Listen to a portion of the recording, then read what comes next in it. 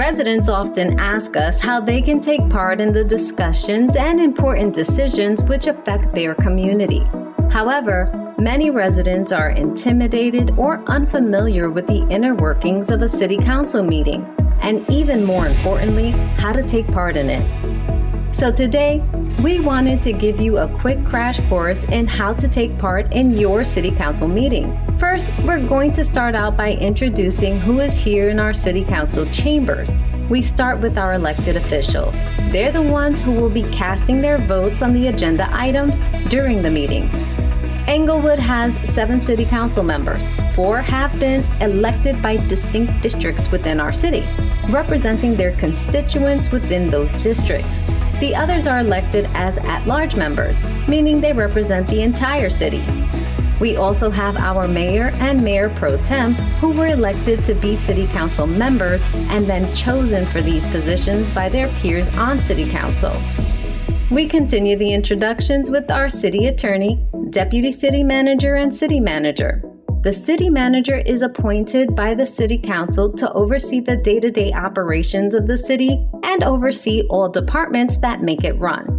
Under the general direction of the city manager, the deputy city manager leads citywide projects and programs and provides ongoing assistance and support to the city manager, city council, and leadership team. Our city attorney makes sure that throughout all the discussions and all the ideas that are presented, that everything complies with local, state, and federal laws. The city attorney is also appointed by city council and is usually legal advisor to the city council as they go into closed sessions. We also have our city clerk, and while typically quiet during these meetings, the city clerk is the one who puts them all together.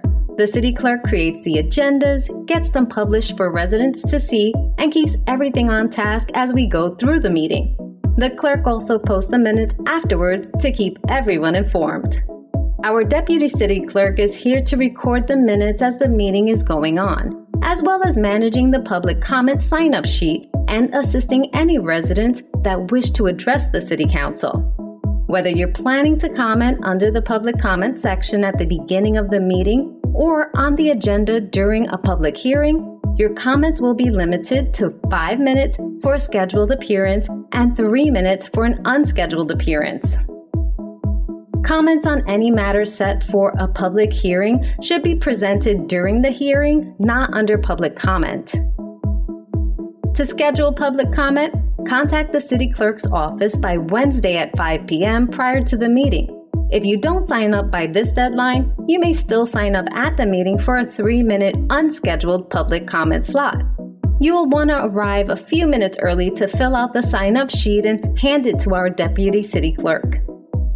When the mayor calls your name at the beginning of the meeting, you should approach the podium, make sure the microphone has a green light indicating it's on, give your name and address or nearby cross streets, and you may speak on any topic, when the light on the podium turns red, your time is up.